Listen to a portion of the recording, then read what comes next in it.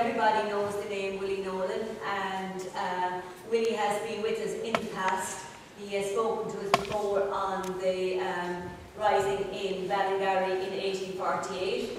Tonight, Willie is going to speak to us on Michael Doheny, who would be Tipperary's first Fenian, and uh, it is a taste of what's to come, because Willie is preparing uh, at least one book, if not two, on the Young Irelanders, and uh, I think that's going to come in the very, very near future. So we'd be all delighted to hear what Willie has to say tonight, and we will be looking forward to the book. So without further ado, I hand you over to Willie.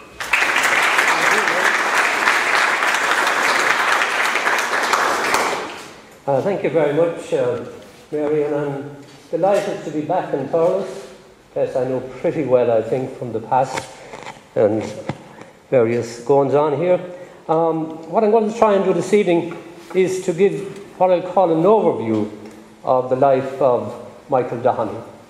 Um, really is a complex character, like many of the young Irelanders, and he's one of the few who really deserves the epithet Young Ireland or Young Irelander, because many of the people who were in Ballingarry, and not all the Young Irelanders were in Ballingarry, the only one you could say who was the real Young Irelander who was there was uh, William Smith O'Brien. Many people make the error thinking that Doheny and all of the other Young Irelanders were at the rising of William McCormick's house. But anyway, that's something I'll, I'll, I'll, mention as I go through it. What I want to do is just give you a flavour of Doheny's early life, because he's one of the few Young Irelanders who we can say with certainty came from what is euphemistically known now as the people. And the people, to a certain extent, means the mass of Irish people who either had the status of either tenant farmers, cottiers, or people just living from hand to mouth, a kind of a subsistence um, existence in that period. Now, Doheny belongs to Fethard, and again, there's a bit of confusion. Sometimes Doheny is given to Cashel, and I think it's incorrect, of course, because Doheny was born in Fethard. He's one of the three young Irelanders who belonged to the first decade of the 19th century. And I think this is important because it brings them right through that whole very, very formative period in Irish history. And of course, it puts him up and puts him against and puts him with one of the greatest political figures, I suppose, ever in the history of Ireland, uh, Daniel O'Connell. And these relationships are very important uh, in Doheny's uh, life. Now, Doheny, as I said, belongs then to the tenant farmers. And when you read what he wrote about his family or about his, his situation in life, there's very little ancestry, as we say in it. For example, if you get John O'Mahony's writings are full of his connections back into Cork and into Limerick and the Kilbeheny district around Mitchelstown. And Smith O'Brien, for example, was full of the glories of his ancestry and his connections with the Brian O'Briens of Thomond, right back to Brian Boru. But Doheny's kind of uh, personal life doesn't really ever become too clear. One of the best sources for it is in 1858 in America, he wrote what he called the autobiography of a, uh, an agitator. He published it in the Irish American. And this is one of the best sources for Tipperary, really, in the early part of the 19th century. Because it's full of the life of the people, which you don't really get much of in a lot of the Young Ireland writing. Because the Young Irelanders basically, sometimes they're dismissed as Dublin 4 today, but they basically were very much middle class. And they had little connection with the world of Doheny to some extent. Now, I just want to say something about Doheny came from, as I said, near Fethard, uh, the town on the Fadden Lane, which is close to Fethard. And a few years ago, and I was like, I don't know, was I involved in such, but I might have had some connection with getting a monument erected to him there at his birthplace, just outside Fethard, on, off, off the road to uh, Kilsheelan. I remember Mary Healy, whose book I published for the poor and for the gentry, was instrumental in getting that little, little headstone kind of thing put up. Now, he didn't stay farming because the farm was sold, and he had three sisters. And the sisters, he said, and I quote from his autobiography the sisters who were over pious and disinclined to marry, they decided that the farm should be sold and that they should go into some business in the neighbouring town where they could attend more closely to their devotions. So we get a lot of this in 19th century Ireland, very much spiritual and pietistic world. And some of the women, even if they didn't have vows of celibacy, they kind of observed very strict devotional rules and didn't wish to get married. Doheny says, Then I took my Lily's grammar and went to school. Now, the evidence is that Doheny went to school quite late in life. He might have been uh, 15 to 20 years of age when he went to school. And he was schooled at a hedge school, and he writes about that in his autobiography. The other way, I think, where Doheny kind of made his way in the world, and we're talking about somebody, and it was quite difficult, obviously, at that period, that you could uh, emerge as a political figure, especially in the latter part of the, the 1840s, 50s, and so on, without uh, kind of some background or some uh, foundation. But it wouldn't do to dismiss Doheny as completely of, of uh, an impoverished background or whatever, because all of the young Irelanders, when we look at them, every one of them nearly, most of them had priests in the background. And this was very important in shaping their education. Doheny's uncle was a priest, uh, a native of Ballingarry, and I suppose this kind of ties up with the fact that Doheny may have originated from Ballingarry, or the family may have originated in Ballingarry. Now, I was lucky enough a couple of years ago to travel through or go down to look at the church in Dunmanway in West Cork. And in front of that church is a little plaque commemorating Doheny's uncle, who erected the church there in 1836. Now, again, when I come to the, uh, the Felon's Track, I'll say something briefly about it. Um, you, you can see the reason why Doheny went to West Cork when he was on the run. He was going to his uncle in Dunmanway because he thought he could get away from some of the Cork ports, and that was the reason for his uh, focus on that area. Now, I want to briefly run through Doheny's early life and say something about how he got involved in politics. I think he was a natural speaker, he was a natural orator. He was also, which was very important in Tipperary, and still is, I think, he was a great athlete. Well, he says so himself anyway. We have no records, we have no time that he, we have no mileage that he did or anything like that. But in his autobiography, he has a great description of a hurling match. Now, it's one of the few descriptions of a hurling match, and it's rarely ever quoted. And this is something I'm trying to impress upon you about Doheny. He's been a forgotten man in many respects. His, his account of a hurling match is absolutely the best that you can actually get. And I did it, I republished it, or I published it for the Historical Journal a couple of years ago. So there's some, a lot of things about Doheny which I'm going to try and address, as it were. Now, anyway, he got involved in politics because of, I would say, a natural ability, because also he had been doing some work, as I'll point out again, for the Scully family. And the Scullys, of course, are one of the key political families of Tipperary. You have the Scullys, the Sadleirs, the Keatons. All of these families, they're all the graziers or the ranchers of Tipperary, and the Mahers from Thurles here, out from the golf club, Turtulla House. They're all major figures in the political life of the repeal movement and even in Catholic emancipation. Now, Doheny's first kind of uh, involvement in politics was the election of Thomas Wyse for Tipperary in 1832. So he begins, he's a long career when I, you see the way he goes. Um, this is what he says about, he was um, campaigning for Wyse.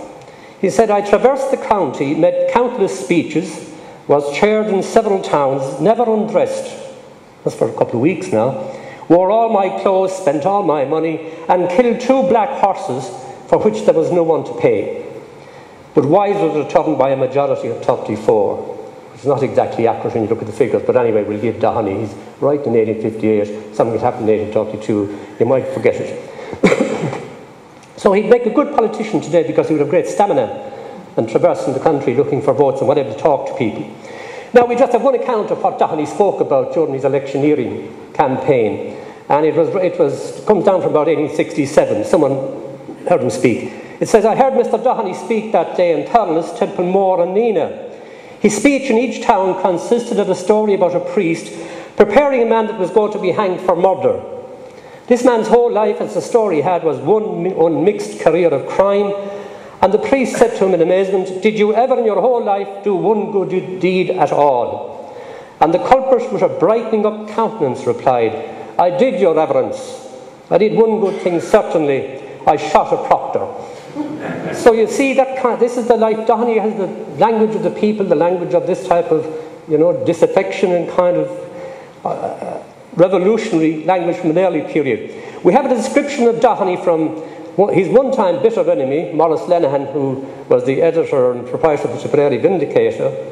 And he's writing in 1867, and again he's remembering back of what Doheny looked like in the 1830s. And this is what he says about him. He was one of the wildest looking beings I had ever hitherto looked upon.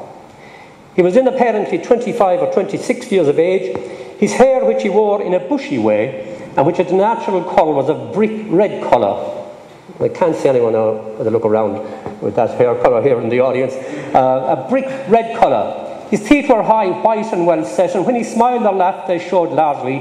His features were strongly marked with a rather large mouth and full nasal development. They got very close into people's physiognomy in that period. Um, his expression was sarcastic rather than winning. He wore a tight fitting white corduroy trousers, a short black waistcoat, and a brown loose fitting surtout out coat, rather out of season. He spoke with much emphasis in a strong brogue and in an out and out fashion. They thought him rather vulgar, but he had great ability and they knew it. Now, Lenihan doesn't tell us who they are, but I presume he, we think they're Doheny's enemies or whatever. Now, Doheny's life progressed in a sense from that onwards when he got involved in politics with Wyse, and then he got mixed up. He moved to Cashel, he sold the farm in Fethard, moved to Cashel, and he was involved in a big case in Cashel which made really, you would nearly say, constitutional history in Ireland. Because a group of people, a liberal politicians in, in Cashel, mainly um, uh, Catholics, they brought a case against the people, the Pennefather family, who had kind of taken over Cashel and taken over the common lands of Cashel and had been running it as a personal fiefdom and paying hardly any rent for years and years and years. And they brought a court, a court case against these people in Cashel, and Doheny was involved in it. Now, it was an extraordinary case because it, it hinged on a very kind of significant map. And this map was the Down Survey map of 1654. Now, the case was whether to establish whether the common lands and they're in Irish known as COIT, Quitton, Quitton, the common lands, and in the map it was written C-O-T-Y-N. Granted by Archbishop Marianus to the Corporation of Cash in 1230, were the same as the lands now used up and leased by the Pennefather family on such favourable terms. Now, it's an extraordinary hearing and it was an extraordinary time too in Irish politics because at the same time you had a lot of inquiries into how the municipal corporations in Ireland were governed and there was various commissions and inquiries sent around the country to see how they were in, com- in, in government. And every one of them, nearly every town, was held by a patron, and they never followed the constitutional rights. They just took the whole thing over, took the common lands over, and all that kind of thing. Now, interestingly enough, the Attorney General at the time, so in 1842 3, he gave the actual decision to Doheny and his men. And he said that the Pennefathers had unjustly uh, established a hegemony over the common lands of Cashel. And they used the Down Survey map as their proof. Because on the Down Survey map, the common lands were written as C-O-T-Y-N. Now, I suspect it may even have been Doheny who informed the people in the case that this was the name uh, for common lands. Now, Doheny had been involved very much in the Tithe campaign, which was one of the great kind of political activities of the early 1830s, up to the end of the 1830s, actually. He was involved in that. And that, again, he made another bit of political. So, all politicians, even today, they always have to have a kind of a cause or a case, or, and they always have to be very energetic in flying around the country and going to funerals and various things. Nothing much has changed when you look at Doheny and look at politicians in the contemporary. I think, well, I won't say that. This, the, the change I was going to say, the major change, is in their ability in relation to the man I'm talking about. I think, in some respects, I don't want to be making comparisons of contemporary situations, but anyway. Anyway, Doheny got a fee of 42 guineas for representing Cashel Corporation in this case, getting the common lands back. Now, the Corporation of Cashel was then abolished and a town commission was set up, 21 commissioners, and Doheny was one of the commissioners put onto that. So that he was coming, you can see gradually, Doheny is emerging all the time as a man of substance in his local place. Now, he's, a man also has to watch out and make a successful marriage, as suppose the same can be said for a woman. Uh, and Doheny kind of did this. In, on 22nd of May 1837, he married Mary Jane O'Dwyer. Now, I noticed in the DIB, which is the Encyclopedia of Irish Learning, in the DIB, she's given as Ellen O'Dwyer, which is incorrect because Ellen O'Dwyer was a sister of Mary Jane O'Dwyer, but that's a bit of pedantry. Um, now, the O'Dwyers were a very significant family in kind of the Emly kind of Lattin area of Tipperary. And I was particularly grateful to the late Liam O'Dear for giving me a lot of information on the background to the O'Dwyers and the family. She was daughter of Morgan O'Dwyer, Justice of the Peace of Cullen and West Tipperary. Morgan O'Dwyer's wife was daughter of General Sheehy Keating of Bansha Castle. So that Mary Jane Doheny's antecedents on both her paternal and maternal side were incorporated into imperial governments and a Hiberno Norman inheritance as her family claimed kinship with Geoffrey Keating or Seathrún Keating, the 17th century historians. But the O'Dwyers and the Keatings had been integrated into the colonial system. So in this way, uh, Doheny had a foot in the camp of the establishment, which you really, you always have to have a foot in the camp of the establishment. It's not always, you'll never succeed too much to stay on uh, the outside. So he was partly in and partly out of it all. Now, the O'Dwyers had made a lot of money for supplying horses to the army during the Napoleonic Wars. And in our time, in first, especially in the First World War and the Crimean War, I remember Willie Smith telling me that for the first time ever in Ireland after the Crimean War, farmers started uh, having parlours because they'd sold a lot of horses for the Crimean War, the British Army, and the same thing in the, in the, in the But this time here, Morgan O'Dwyer now makes his money. Now, the important thing about this is Mrs. Doheny's uncle, General Sir Sheehy, Henry Sheehy Keating, was governor of Mauritius. So they came from a fairly distinguished family.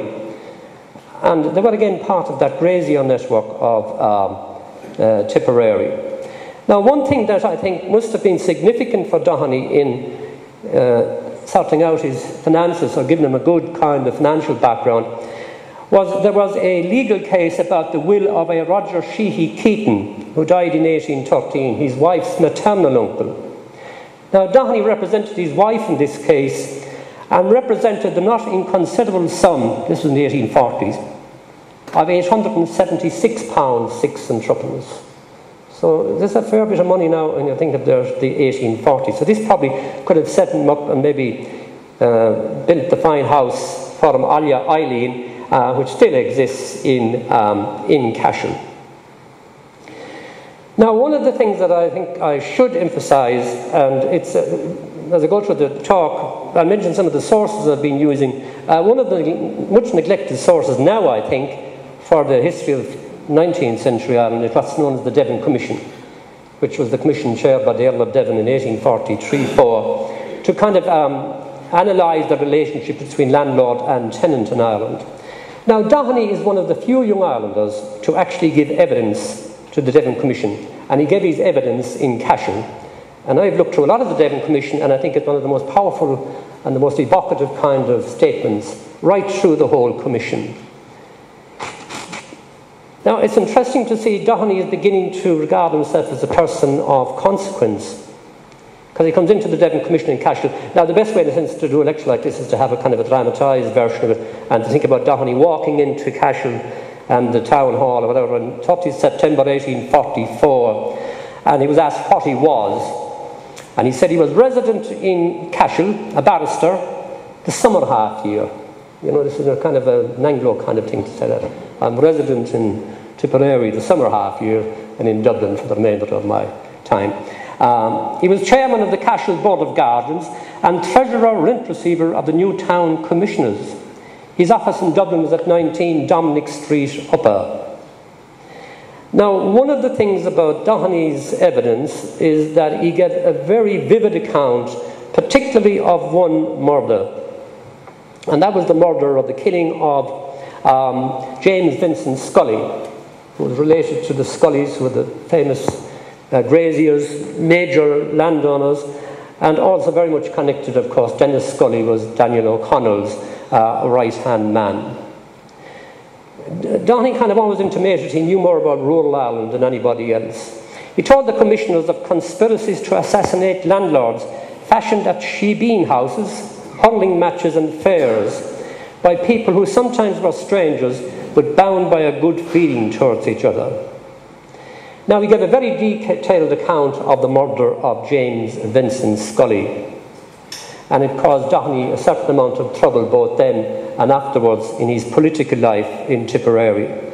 I don't want to go into this in detail, but just want to draw your attention to it. He maintained that Scully's murder was related to the letting of a 22 acre Irish acre field to potato jobbers in April 1841 at £14 per Irish acre as it was prized virgin tiller ground.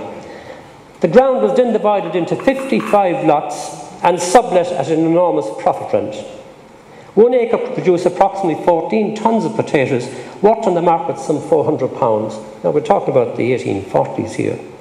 But the harvest of potato, like all crops, was weather dependent, and the jobbers were unable, because of the wet weather and waterlogged ground, to take out their potatoes. Scully, anxious to restore the field to grazing, processed the tenants for possession. They refused, and Doheny said, Having obtained the decrees, Scully dug the potatoes and put his own horses to them, and drew them out on the road, and spilled them on the road, and also let his bullocks into the field. So you can see there might have been a certain amount of animosity towards James Vincent Scully. Now, we suppose also to have evicted tenants and various other things. Now, he gives a wonderful description here. Well, it's a very unbelievable description, really. He had been shot at in April 1841. And remember now, Scully was a Catholic landlord. And Doheny told the commission he went out the very night he was fired at. The shot that was fired at him hit him in the cheek. It was a leaden spoon which lodged in his mouth, and he went out to look for them. He was a tough man, you can see. It was rather owing to his extraordinary spirit of resistance and daring them that the murder was committed. Now, one of the other Scullys, afterwards a, uh, an MP for Tipperary, Vincent Scully, he was very annoyed, of course, at Doheny's evidence and the, the evidence against him. And he said he kind of uh, wrote an addenda to the actual uh, Devon Commission and he said, Some of his neighbours and tenants, as were supposed to be ill disposed, were spirited on against him in a most improper manner. My allusion will be understood in the quarter it refers to. So obviously he was implying that it was Doheny. Now he goes into the fact that Doheny and James Vincent Scully didn't go on too well. But he has this extraordinary information, and again it ties into Tipperary history. He says, When my brother and I returned from school in England, now remember all the large Catholic farmers were educated in England, um, we found him at Kilfeacle, as we found Doheny at Kilfeacle, acting as a private tutor to our youngest brother. Now, the youngest brother was William Scully. Some of you probably have heard about him. Subsequent on our return, he left the family. Now, of course, William Scully is the famous um, William Scully of uh, fame, and Doheny was his tutor in William Scully's early life. So there's a connection which cuts across a lot of ground in relation uh, to Ireland. Now, one of the things, Doheney was very involved with the repeal organisation, very involved with um, um, Daniel O'Connell, but for whatever reason, which I won't go into here, he moved to the Young Ireland side and to the Nation newspaper and especially when all the difficulties with the repeal movement, particularly there was difficulties about accounting, have we heard that before? Difficulties about accounting and where did all the money that O'Connell collected, where did that go to? There was difficulties about the education, all the various animosities which have kept coming up in Irish history, subsequently even today, were there in uh, Doheny's time. Now, the Young Ireland kind of major figure in the period, and Doheny's hero all his life really was Thomas Davis.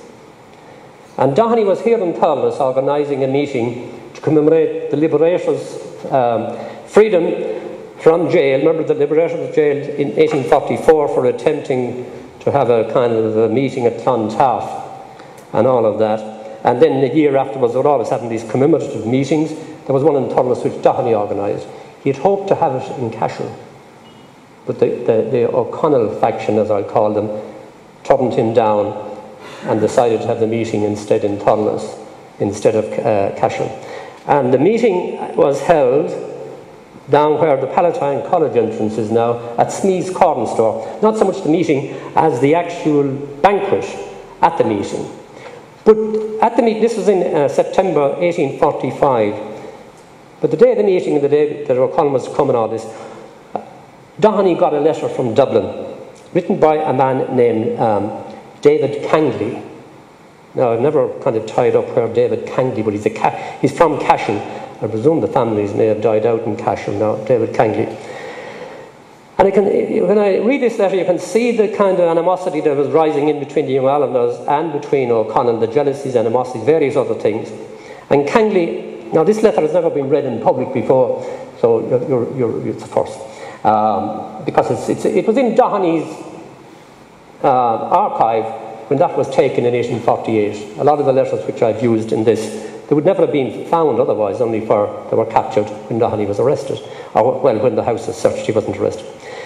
And the letter reads Tuesday morning, 16th of September 1845. This is when Thomas Davis died. And he's writing to Doheny in Thurles. He said, You must prepare yourself, my dear friend, for an intelligence the most afflicting you can imagine, which quite stupefied myself not more than an hour ago our dear and esteemed and most valued friend. He who has lost you will deplore as the worst calamity that could befall this unfortunate land is no more. Need I name him? I'm sure I need not. I know your own heart and your own apprehensions have already suggested to you the name of Davis.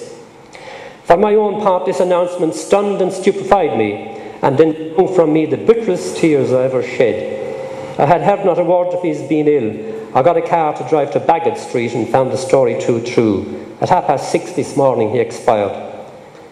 I am greatly apprehensive that the malignant spirit of the vile creatures who so unjustly assailed him will occasion to triumph, and that their odious and damnable bigotry will exultantly point to his lamentable death as a visible interposition of Providence in favour of their hateful system of exclusion.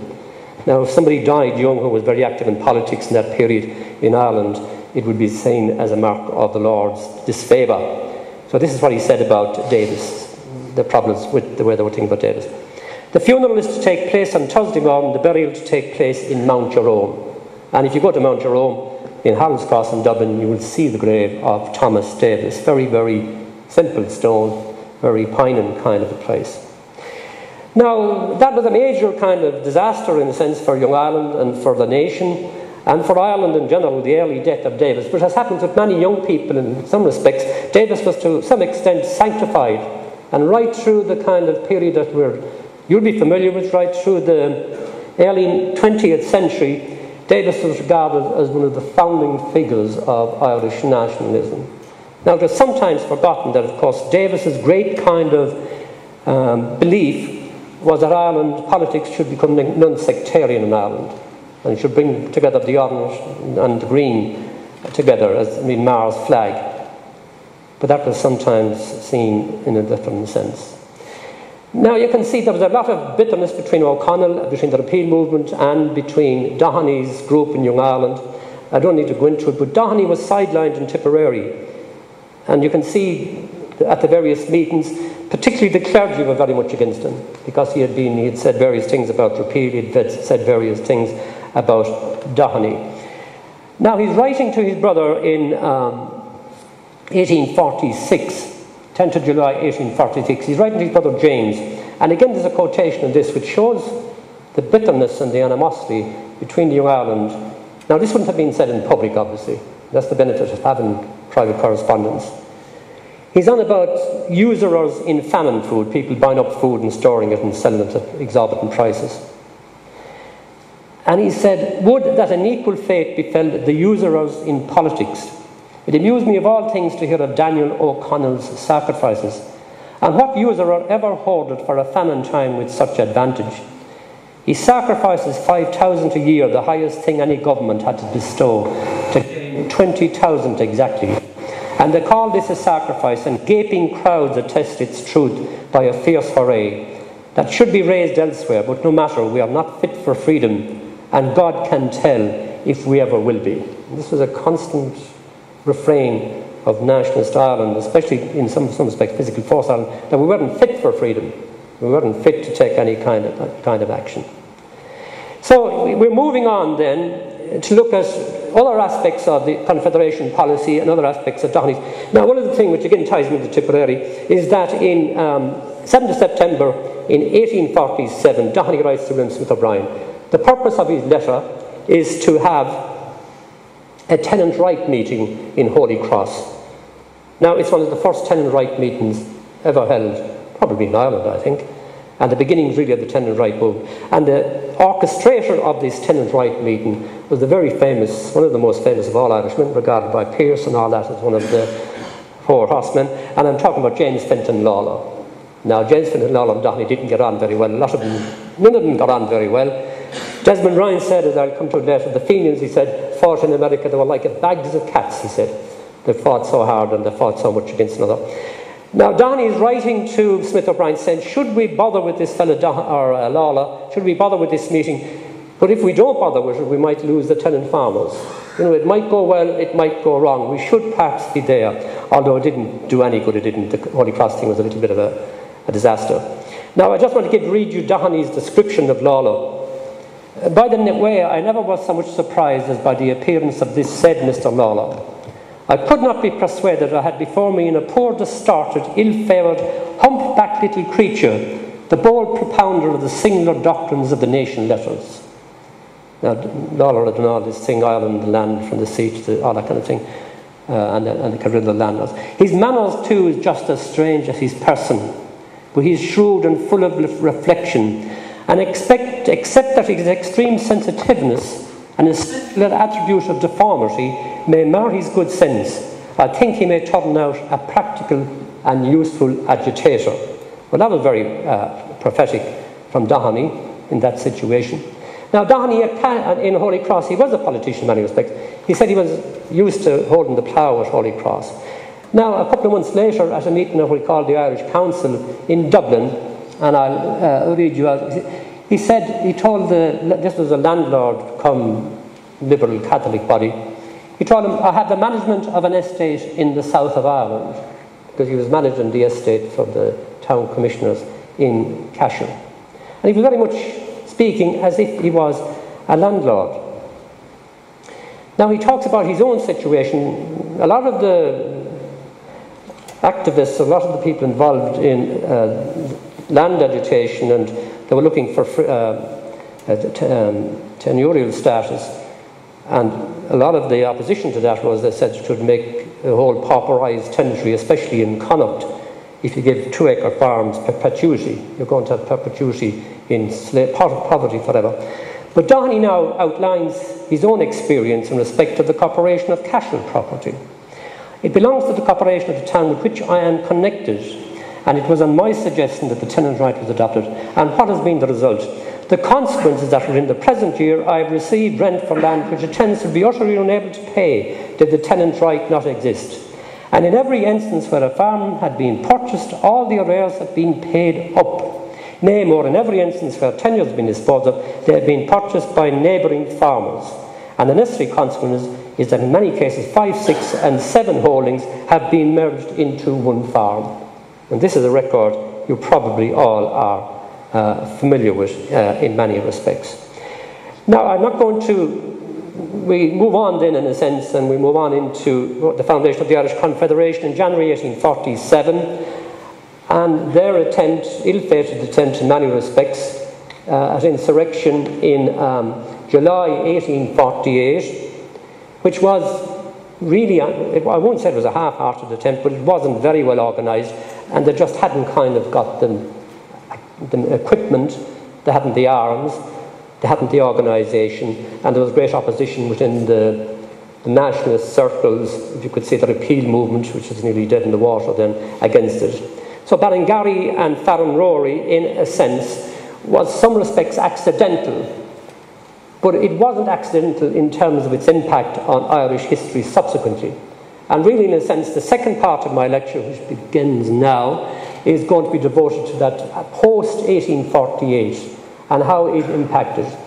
Because one of the things the Rising did, it forced some of the greatest talents that we ever had in this country. And you need only go and look at the monument in the Commons in Ballingarry and read their names. It forced them out of the country. And just think if all these people, now Mitchel had gone previously, but if all these people had remained in Ireland, if they'd been given responsibility in Ireland, they would have made this a wonderful. I think myself, and we can't be sure of these things, but I'm just saying that anyway, because about 13 or 14 of them who were in the Commons on the 28th of July. And when you read their names, They kind of are all over the world now. They've made an impact all over the world. Well, particularly, I should say, the English speaking world. We don't see many of them in Brazil or places like that. So I think it was, in many respects, a major disaster. Not for, for any kind of country to have its best of its people pushed from it, and it, it, it became the general kind of atmosphere. Now, Doheny doesn't get involved. He's involved in 48, but he's not involved in the way he would have liked. He wasn't at Farranrory, he wasn't at Killenaule, he wasn't in Mullinahone, so he was in none of the military little bits and pieces that went on during. Now, there is some evidence that there was great disagreement between Doheny and Smith O'Brien in relation to how the campaign was being handled around Ballingarry and Mullinahone. And then there was great controversy afterwards because it was implied that Doheny had invited O'Brien and the Young Irelanders, or the Irish Confederation, to Ballingarry and to Tipperary because he said it was so well organised. And then when they came to Cashel, there was nobody there, nobody waiting for them, no organisation. And this was the whole thing. And afterwards, he was forced to write, when he escaped to America, he was forced to write explaining that he never had promised O'Brien all of these men and all of this. So there was a lot of retribution which comes after every rising, I think. You know, who was in the GPO and who wasn't, and why they weren't. And what did they do in 1916, what they didn't do. Anyway, Doheny's great escape novel, or not a novel, historical narrative, The Felon's Track, is probably one of the best exemplars of topographical writing in 19th century Ireland because it has all of the kind of material about descriptions of the country and the people. Now, strangely enough, in the Felon's Track, there's no reference whatsoever in 1848. There's no reference to the famine or hardly any reference to the famine in 1848 in the Felon's Track. But it's a wonderful description of the mountains, Mount Mallory. It's a wonderful description of the Cork, southwest Cork countryside, and his interaction with the people. The other thing is interesting is that Doheny was probably an Irish speaker, a native Irish speaker. There's only two references in the whole Felon's Track to the Irish language. And that's uh, one of them where he's listened to a lady himself and Stephens are staying near Gougane Barra on the pantry, and they're listening to the lady of the house, and she's telling her husband that these guys could be worth a few bob, Doheny and Stephens. But she's talking in Irish, you see. She didn't realise that Doheny knew Irish. That's one of the few examples. But it's a wonderful book. I'm not going to go into it. It's worth, there's probably two lectures sometime in, in the uh, Felon's Track. The other thing that's very interesting about Felon's Track, it does a lot about the diet. Now, he doesn't often talk about getting potatoes in the houses, it's always uh, fresh milk. And around Kerry and Gougane Barra and these places, it's fresh salmon. But one time, and this is quite unique in our dietary, maybe anybody here who has experience of this maybe can tell us, is that um, one morning he got up around that area of Barra and Seven Stephens and they had a breakfast of fried badger.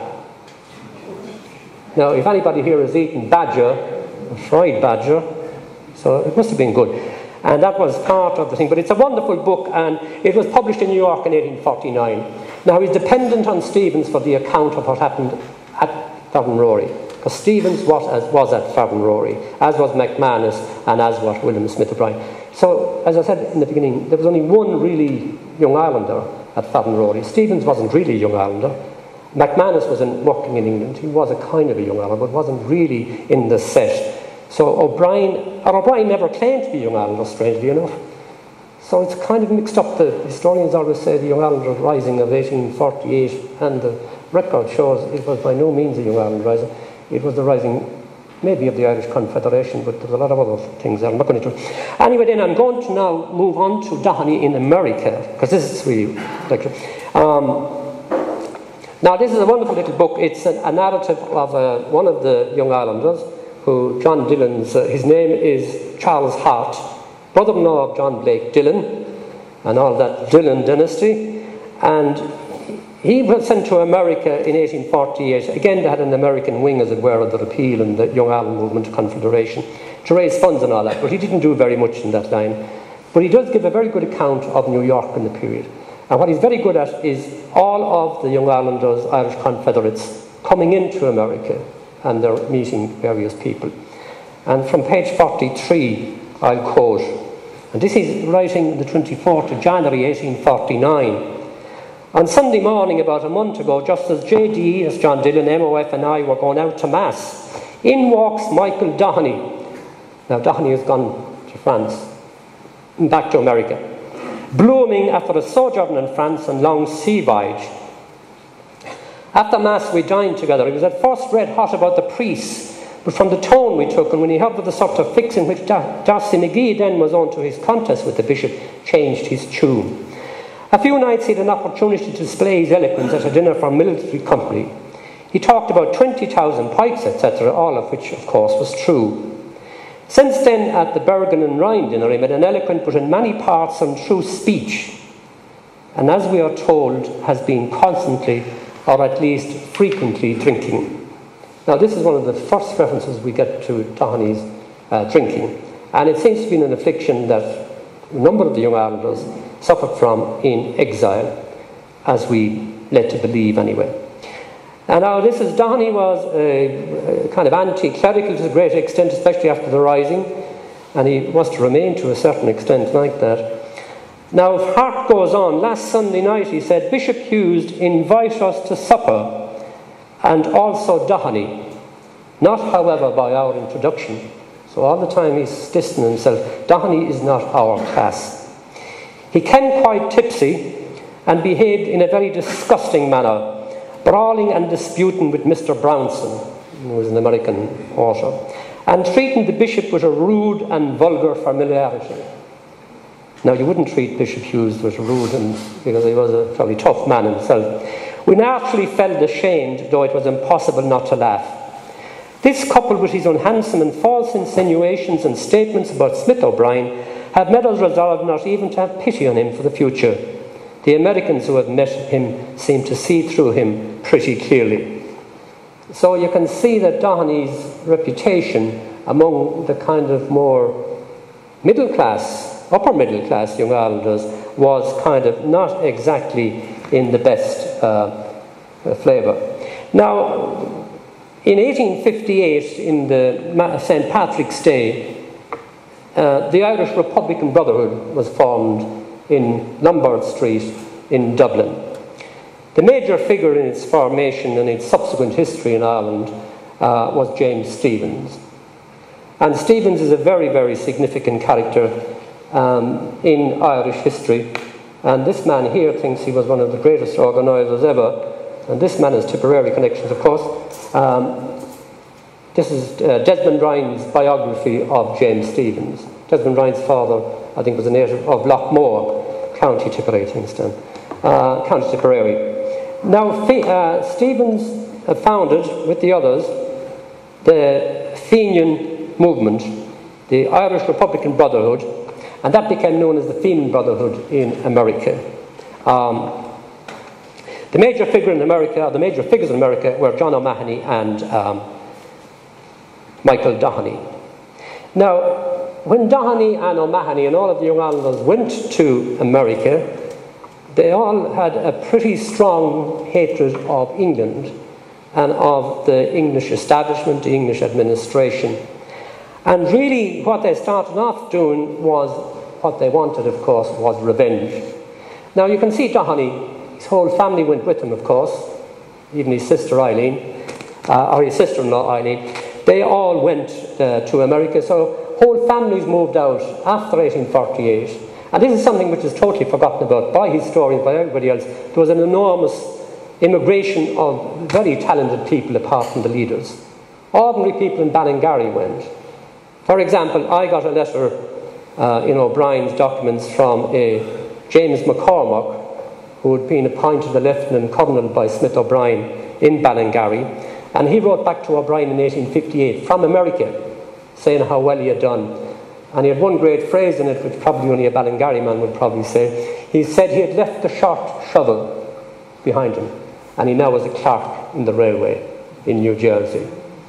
But the sad thing about it, and this is where exile, we think today we kind of sometimes think of it too uh, flippantly. You can come back on a plane, etc., etc. Exile for then, then was a permanent thing. And the permanent thing about McCormack's letter to O'Brien was he said if there was any situation for him to be got in Ireland, he would love to come home and die in Ireland. And of course, the man never uh, came back to Ireland. Now, Stephen's greatest ability really was as an organiser. And he travelled Ireland in the 1850s, organising this secret organisation. Now remember, the Young Ireland and Irish Confederation movement was totally transparent. They had a paper, everything was published in it. They nearly told everybody we we're going to have a rising. You know what I mean? We're going, where we're going to be, how many men we have, how many clubs we have. The Fenians depended on utter secrecy and total kind of um, the way the, the, the, way it was set up with the circles and everything else, that very few people knew what was happening at the top level. And that became kind of the model for Irish revolutionary uh, bodies in the subsequent period. Now, the one thing, Stephens, of course, was a Kilkenny man. Reputedly, he was an engineer of some sort. But he was a very tough man uh, to deal with. He set himself up in the beginning as a provisional dictator, as he called himself. He wanted to have complete charge of organising Ireland. Now, the one thing he wanted from America was money. And of course, that's the one thing probably we all wanted from America in our early days was money. But he wanted money and he wanted men. And the idea was um, um, O'Mahony and Doheny, by training militia in New York and all over San Francisco and various places, would eventually send money every month to Stephens in Dublin but they also would make plans to send an army back to Ireland. And this army would lead the Fenians in Ireland to successful revolution. Now, this became critical at the time of the American Civil War. And the American Civil War is a double edged sword for the Fenians. Because, first of all, it will give them the military training they need. But I don't think, like every war, they didn't realise that the American Civil War was going to go on so long and it was it was going to be sort of um, much of a killing field for the Fenians because some of their best men were killed. Some of the best military men of the Fenians, like uh, Michael Corcoran when he fell off a horse, various places like that. Do you know what I mean? Some of the best of the Fenian people were supposed to come back to Ireland. Now, a great number of them did come back to Ireland in the 1860s, but again, it kind of petered out. It wasn't very well organised and various things. So Doheny was at this work in America now, one of the interesting accounts, and I like to kind of uh, look at Doheny, look at the human aspect of their life and how they were getting on. Uh, Stephens went to America in 1858, in the end of 1858, and really he wanted to go to America to get money because he believed there was a fund set up in 1848 which people in New York had control and Stephens wanted to get this. And he wanted to get John Mitchel to write to New York to get him this money and all of that. But it didn't work out because none of the major figures of the Young Irelanders got on very well with Stephens. Mitchel didn't get on with him, and uh, didn't get on with him, and there was a lot of jealousy and infighting.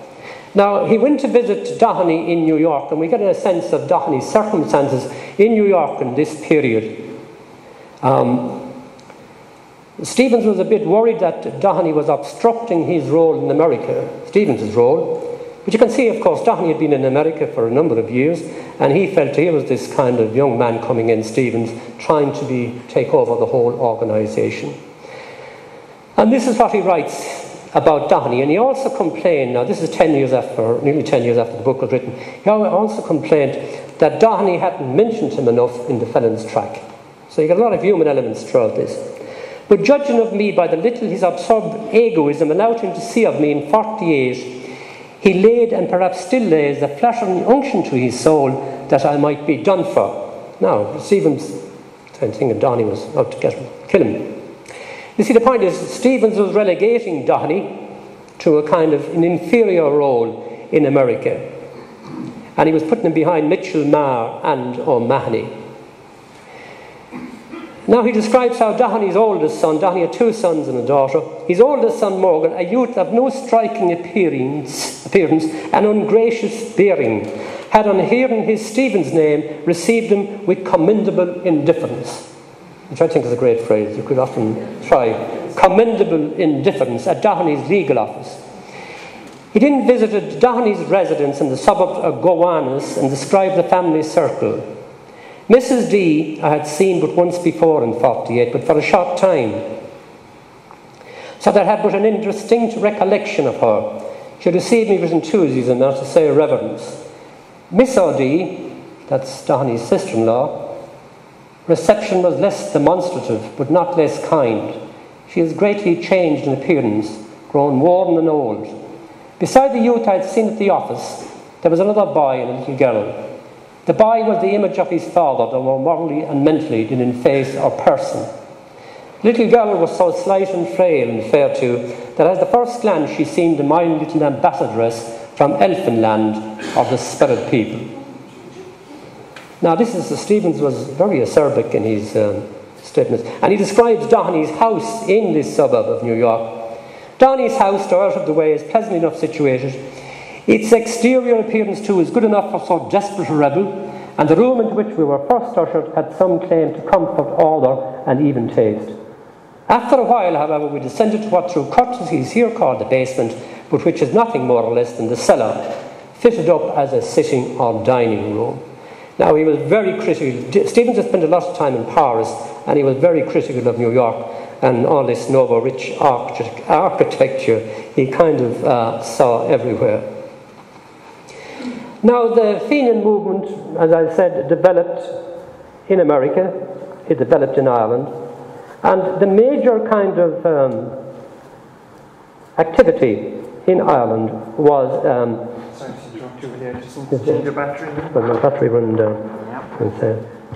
Uh, the major activity in 18, November 1861 was the burial of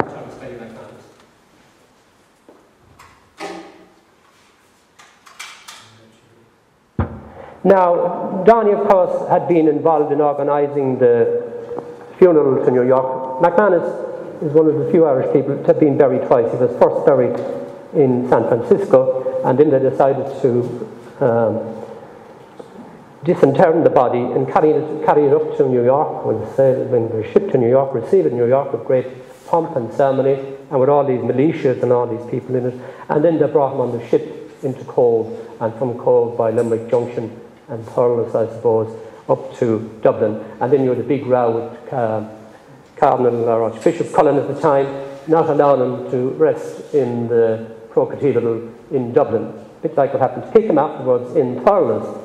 But um, that's another history. Doheny came and gave a description of all of the activities of the Irish American.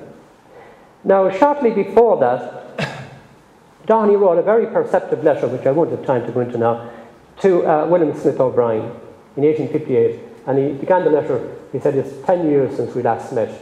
The last met in the Commons, 28th of July, 1848. So he was writing to him 10 years later. He was slightly iffy with Smith O'Brien. On the one hand, O'Brien's great status kind of impinged on all the relationships of the Young Irelanders with him. But on the other hand, because O'Brien had condemned secret societies and the Fenians, Doheny would have been a little bit um, against them in many respects. One of the things that um, did, and they went through a whole range of things like slavery in America, and this is something that I'm going to try and bring out in my uh, book when I bring it out, is to show that Doheny was an intellectual and a thinking person. He's dismissed by a lot of Young Irelanders as just a, a kind of a rough country guy with a brogue. But he was thinking all the time. He was a major figure, of course, in relation to the, the Irish language and I know Donnacha O'Dear here would know plenty about that. And he had, he had helped O'Mahony translate Seathrún's Céitinn for Sassarearn in 1858 in New York. This is an extraordinary labour of love by Doheny and O'Mahony as exiles. Now, in relation to the land question, because O'Brien was very much the paternalistic landlord in his estate, I think there is only one remedy, Doheny said, it's extension. If I were now in Ireland and power to do it, this would be my plan. Now listen to this because this exactly happened in 1903 4. I would summon a convention, I think to my mind, perfectly practicable, notwithstanding the statutes. And I would submit to it one question How can Irish landholders be abolished with least injustice to the owners of the land? I would forward on that basis a scheme in limiting the quantity of land which a man could hold in his own hands and equalising farms on such a scale that the land would be brought within the reach of all. This is one of the most precise and preceptive antidotes or whatever to the land situation ever in Ireland. Now, he gives a very kind of um, emotive um, account of his own life to O'Brien. And it's very poignant. You've got to think this man in exile, losing everything in Cashel, his house, his job, his status, going to America where he's dismissed as a rowdy and a drunkard and fighting with the other young Irelanders and knocking them down cellars and all sorts of things and all of that. But here you see in this, you see the kind of impact of exile. For my personal affairs are not much to be spoken of. I would have done very well if I had devoted myself exclusively to my profession as Dillon and O'Gorman. They were strong legal men. But I was busy with the military and the old hope and old cause, and I now busy myself in endeavouring to reanimate the Gaelic. And this is one of the key works of O'Mahony and Doheny in America. They published material in the Irish language, which is priceless today. They published poetry, they published kind of summaries and syntheses of poetry and kind of notes to it. And I'm sure Irish scholars, and Dan Finnan here probably knows and looked at all of this and will be able to expound on it for us. Um, he says, We have been able, however, to live comfortably enough but simply way out of the world. I have no associations with anyone but O'Mahony. He and I are always together and we eat away our hearts in bitter memories and bitterer hopes. Meagher mixes with the world, as Thomas Francis, and enters into it its feelings and aspirations. Of Mitchel I know nothing but what I read in the paper. O'Gorman is reformed and lion and sharp as a chisel, and equally keen in his race for money. Now, these are the people who were all like that one time. We meet and salute, and that's all. My sole amusement and relaxation consists in reading and translating Gaelic ballads and discussing them with O'Mahony twice a week or oftener.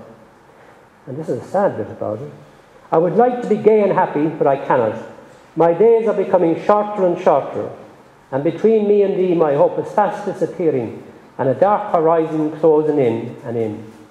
Oh, it is a sad thing to be thus ascending the hills so far away from all the sympathizers that fed and fired one's youth. It is a terrible thought that one must lie down to sleep at last in foreign style. And yet, methinks that with me at least it is better so. I doubt if I could sustain the sight of Ireland now. So there you have an extraordinary kind of evocation of what it meant for a thinking man to be in exile away from his home. Now, I'll just finish up because I know I'm traveling on a bit too much. Um, when he came to McManus's funeral, on the 12th of November, the day after the funeral of Terence William McManus, this delegation from America, including Doheny and Mrs. Doheny, went by train to Sallins and from there to the grave of Wolfe Tone at Bodenstown. The connections are absolutely incredible when you think about it. Um, and he gave a number of lectures one of the lectures he gave was in Cashel, again I'd love to have been at in some respects. He travelled to Gould's Cross, County Tipperary by train, and from there he was accompanied by a large concourse of people and a band to the hall in the Mechanics Institute. It must have been a bittersweet occasion for his first time back since he abandoned his career, his home and family to travel the felon's track in 48.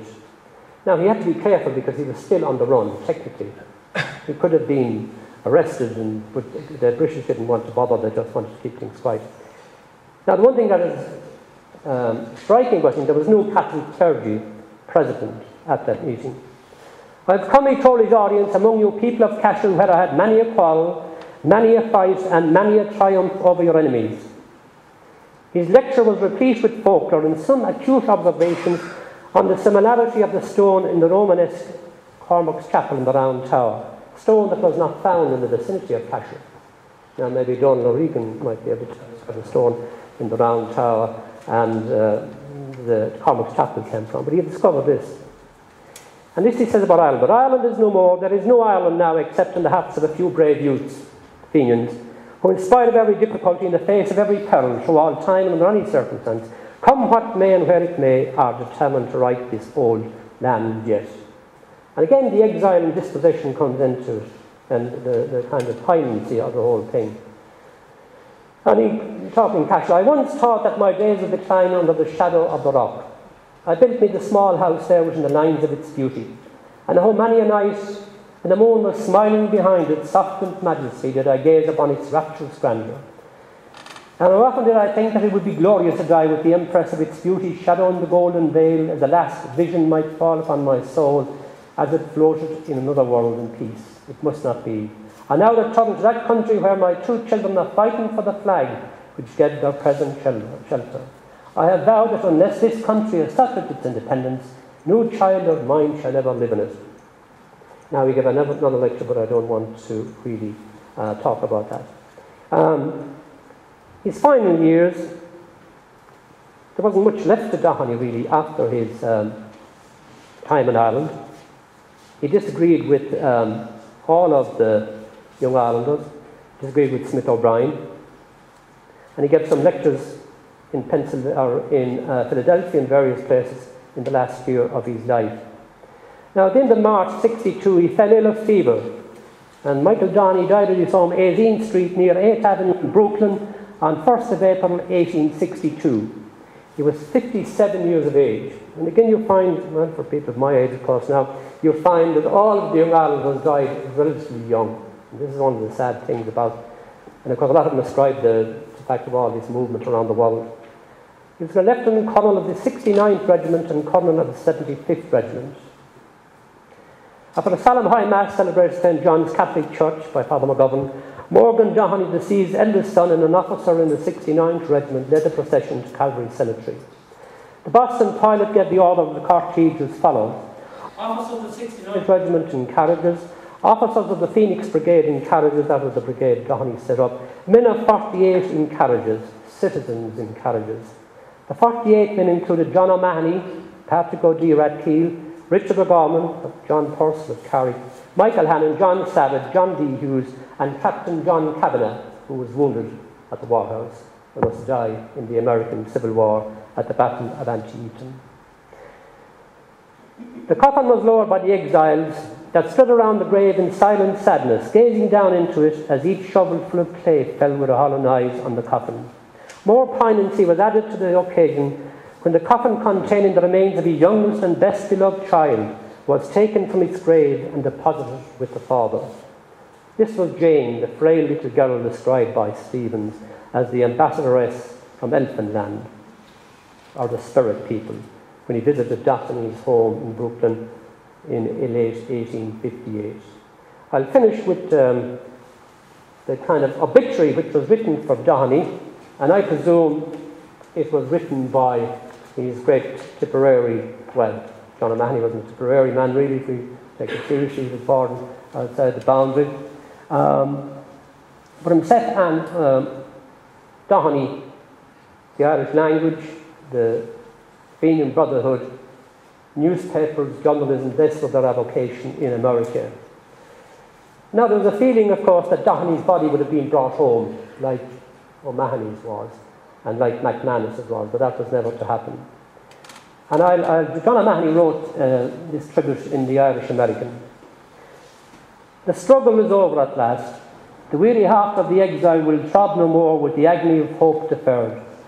The toiling brain is at rest. Over the quiet grave in Calvary Cemetery, let no memory of doubt or contention hover. Let him who sleeps beneath be remembered only by the good he did of strove for, and the common faith and love that make our world divided race one in heart and purpose. Nor should, nor should those he has left behind be forgotten when his countrymen recall his memory with respect. They partook of his sufferings even as they shared his love. The tempest of persecution that met him a wanderer tore them also from the secure anchorage of home. How desolate that broken circle is now, those only can tell who, like them, have seen the last of their household gods shattered upon the heart which their presence has beatified in every vicissitude. And I'll finish with that tribute from John O'Mahony to his friend uh, Michael Doheny. And thank you uh, your attention.